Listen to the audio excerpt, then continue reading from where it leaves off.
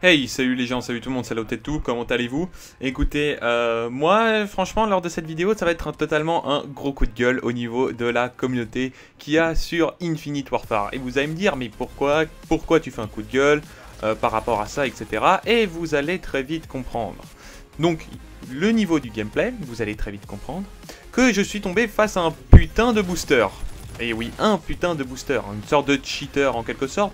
Un booster, qu'est-ce que c'est? C'est quelqu'un qui s'amuse à demander à son petit pote, hein, tout simplement de l'équipe adverse, de venir vers lui et tout simplement faire des kills. Comme ça, il obtient plus facilement un bon ratio, et éventuellement une nucléaire s'il se fait pas buter entre deux. Malheureusement j'étais en 2 contre 4, je me suis dit au début, mais pourquoi il bouge pas ce petit enculé, il arrête pas de camper, est-ce qu'il cherche à faire sa nucléaire? Au début je l'ai pas vraiment grillé, je me suis vraiment rendu compte plus tard que cet enculé s'amusait à faire un gros boost avec son pote. Parce qu'au début je me suis dit bon ils sont en face ils vont peut-être s'affronter normalement.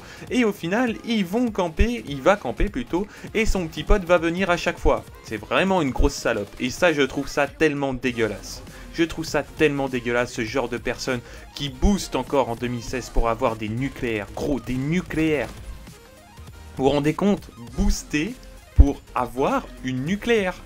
Non mais c'est franchement n'importe quoi, cette communauté sur Call of Duty, elle est en train de se dégrader à fond face à ce genre de personnes. À ce qui paraît, Venom m'a dit qu'en CTF, il y a eu exactement la même chose. Il y a des mecs qui s'amusent à vouloir euh, booster, hein, tout simplement parce que il semblerait que lorsque tu lances un petit groupe de 1 ou de 2, finalement, c'est vrai que les équipes, elles peuvent se splitter et les personnes s'affrontent. Donc au final, ils en ont pour ils en ont profité tout simplement. Vous allez voir qu'il ne va pas bouger de son endroit. Lorsque moi je vais me faire chier d'essayer de faire des frags, à essayer de bouger partout. Au début je me suis même fait chier d'essayer de gagner la game en me disant qu'il y a peut-être moyen de faire quelque chose en obtenant un gardien et en pouvant enchaîner mes adversaires. Et ben au final je me suis fait enculer. Et ce petit avorton, on va dire cette petite enfoiré de merde, va réussir à obtenir une nucléaire ainsi c'est super Call of Duty, franchement, cette communauté qui devient de plus en plus mature, c'est juste incroyable. Ce genre de personnes que je hais, franchement, je hais ce genre de personnes. Vous allez voir justement au niveau euh, du score euh, final que le mec il s'est totalement laissé faire. Hein. Je crois que j'ai pas besoin de plus de preuves que ça parce qu'il va chaque fois buter son pote